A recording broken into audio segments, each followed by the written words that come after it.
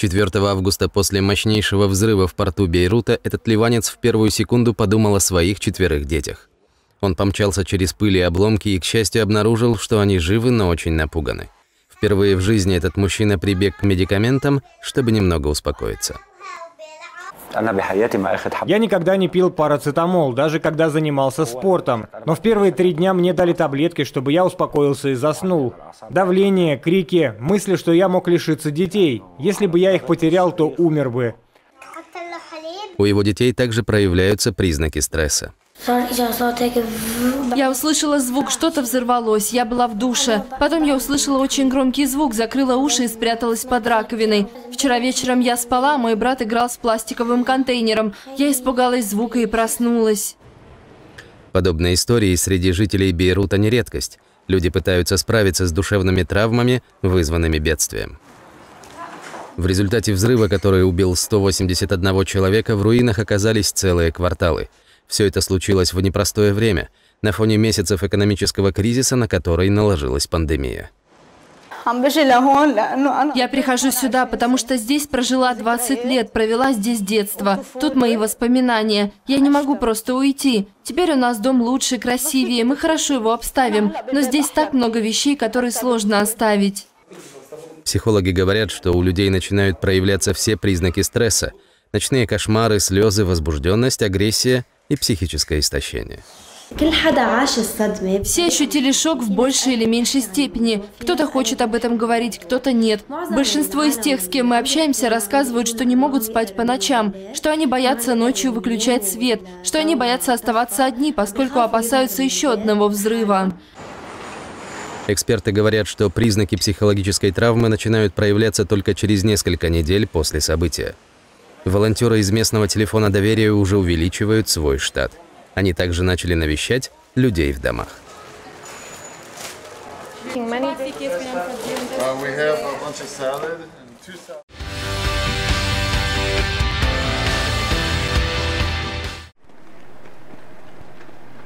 Совет Безопасности ООН пока не будет выполнять запрос США и возвращать все санкции в отношении Ирана – Такое решение принял постоянный представитель ВСБ ООН от Индонезии, страны, председательствующей в Совете в августе. По его словам, в органе нет согласия по этому вопросу. Для меня очевидно, что есть один член с конкретной позицией по вопросу, а также значительное число членов с противоположным мнением. Я считаю, что в Совете нет консенсуса. Таким образом, председатель не может предпринимать дальнейших действий. Ранее Соединенные Штаты объявили о том, что начали 30-дневный процесс по восстановлению всех международных санкций в отношении Тегерана. Для этого они подали в Совет Безопасности ООН жалобу на то, что Иран нарушил соглашение 2015 года. Согласно документу, любой член договора может инициировать возврат всех мер. Несмотря на то, что США вышли из соглашения, они по-прежнему числятся в нем наблюдательным членом. Uh,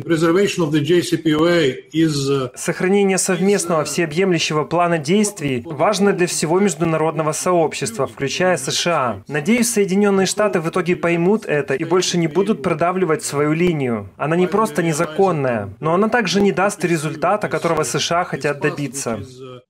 Дональд Трамп критикует соглашение с Ираном, называя его несостоятельным. Он добивается того, чтобы провели переговоры о более масштабном договоре, который бы действительно помог остановить ракетную и ядерную программы Тегерана.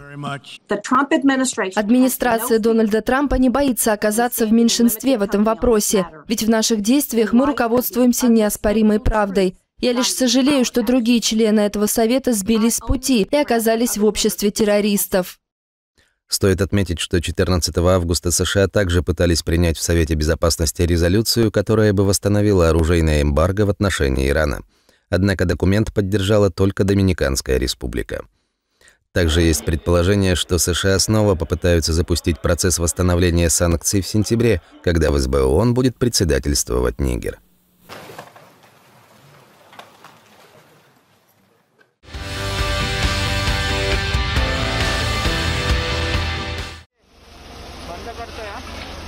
Из-под завалов жилой пятиэтажки, рухнувшей в Индии, извлекли живым ребенка. Спасатели обнаружили четырехлетнего мальчика спустя 20 часов после обрушения. Общее число спасенных превышает 70 человек. Мы только что спасли живым ребенка и извлекли из-под завалов тело одного погибшего мужчины. В целом число погибших достигло 13 человек. Еще нескольких местных жителей продолжают искать. В доме было более 40 квартир, в которых проживало около 200 человек. Мы будем продолжать спасательную операцию, пока не убедимся, что никого не осталось под завалами. Потом экскаватором уберем все обломки. Жилой дом обрушился около 6 часов вечера в понедельник. Перед этим он какое-то время трясся, и некоторые местные жители успели спастись самостоятельно. Я взял шестилетнего ребенка и понес его на дорогу. Я пытался вернуться в здание снова, чтобы еще кого-то спасти, но оно рухнуло. Когда я пытался убежать, мне на ногу упала железная балка. Трагедия произошла в промышленном городе Махат в штате Махараштра, примерно в 160 километрах южнее Мумбаи. Дом был сдан в эксплуатацию в 2013 году. По словам очевидцев, он сложился как карточный домик. Почему, пока неизвестно, однако подобные проблемы в Индии не редкость из-за некачественного строительства, особенно в сезон дождей с мая по сентябрь. Свои соболезнования в связи с гибелью людей выразил премьер-министр Индии Нарендра Моди. Причины обрушения здания обещают расследовать.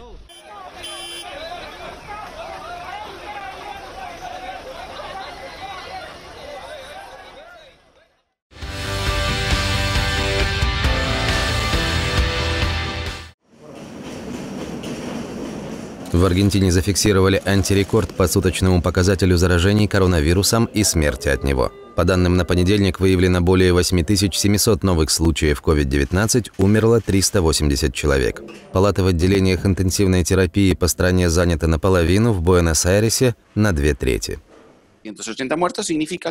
То, что за день умерло 380 человек, означает, что в системе здравоохранения есть серьезные недостатки. С самого начала пандемии и здесь, и в Европе говорили, что существующая система здравоохранения не может справиться с большим числом пациентов, и поэтому люди умирают. Министерство здравоохранения страны заявило, что через несколько недель после ужесточения карантина в Буэнос-Айресе и его пригородах новых случаев заражения стало больше и в других регионах Аргентины.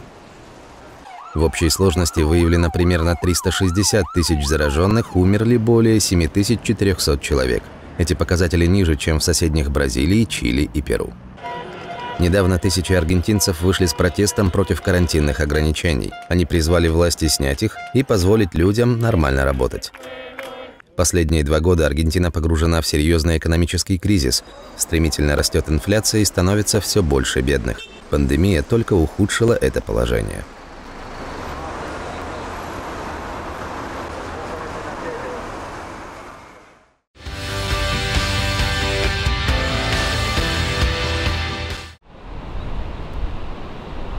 Побережью американских штатов Техас и Луизиана приближается ураган Лаура.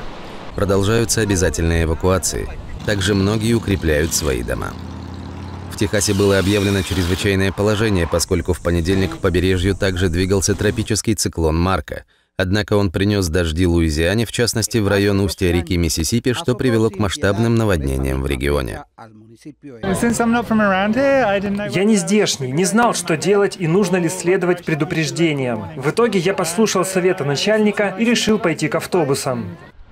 Губернатор штата Техас предупредил, что Лаура обрушится на побережье в качестве урагана третьей или даже четвертой категории. Он также посоветовал всем жителям следовать предписаниям эвакуации. Когда Лаура продвигалась через Мексиканский залив, то скорость ветра в эпицентре достигала 120 км в час. Сейчас ураган двигается со скоростью 26 км в час и должен ударить по району границы Техаса и Луизианы в среду или ранние часы четверга. Три года назад в Техасе катастрофические наводнения вызвал ураган Харви. Однако метеорологи говорят, что в этот раз шторм принесет сильный ветер, а осадков будет не так много. Ранее Лаура прошла по территориям Кубы, Гаити и Доминиканской республики. На Гаити проливные дожди привели к наводнениям и оползням. По меньшей мере 21 человек погиб, 5 числятся пропавшими без вести. В столице около 200 семей лишились крова. На Кубе около 30 небольших сельских общин были изолированы после обрушения моста. Сюда Лаура также принесла ливни и сильные ветры. Более 316 тысяч человек были эвакуированы обрушились тысячи домов. А это последствия урагана в Доминиканской республике. Затопило многие населенные пункты. По меньшей мере три человека погибло. Также более миллиона человек остались без электричества.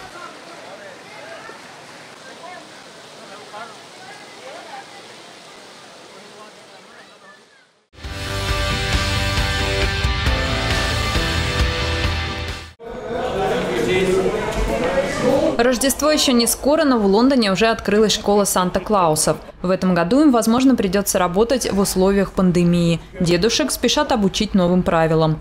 Прежде всего маски. Мы сделали вот такие, из красного бархата с белой меховой отделкой, как костюм Санты. Это особенность маски. Думаю, так детям будет комфортнее. Также Санты должны соблюдать социальное дистанцирование. Они будут садиться в двух метрах от детей. Подарки тоже придется дарить особенным способом. Мы создали гениальный метод с использованием саней. Санта кладет на них подарок. Ребенок подтягивает сани за веревочку и берет подарок.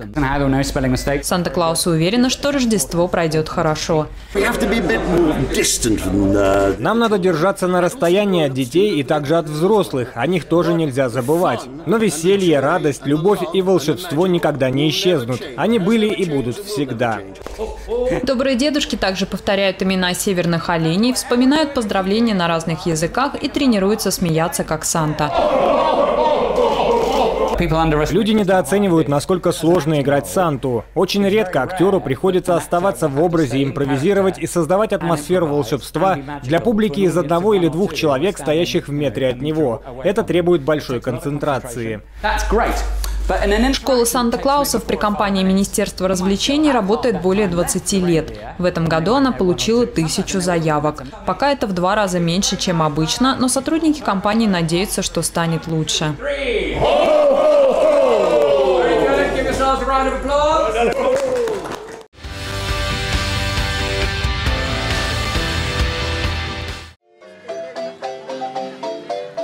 Яркие гондолы Трахинерос снова плывут по знаменитым каналам Сочемилька в Мехико, а мексиканцы наслаждаются пейзажами и музыкой ансамблей мариачи. Плавучие сады были закрыты пять месяцев, но теперь у владельцев лодок появилась надежда поправить дела. Всем гостям измеряют температуру, гондольеры носят маски, а в 20-местную лодку пускают не более 12 человек – я приехал в Мехико навестить семью и узнал, что район Сачемилька открывается и разрешены прогулки на Трахинерос. Мы решили приехать сюда, потому что это достопримечательность Мехико. Древние каналы ацтеков были построены на остатках озера Тескока. Здесь индейцы делали плавучие острова Чинампе. На них занимались земледелием. Сейчас здесь выращивают цветы и другие растения. Каналы Сочемилька в 1987 году стали объектом всемирного наследия ЮНЕСКО. Здесь живут в основном за счет туризма.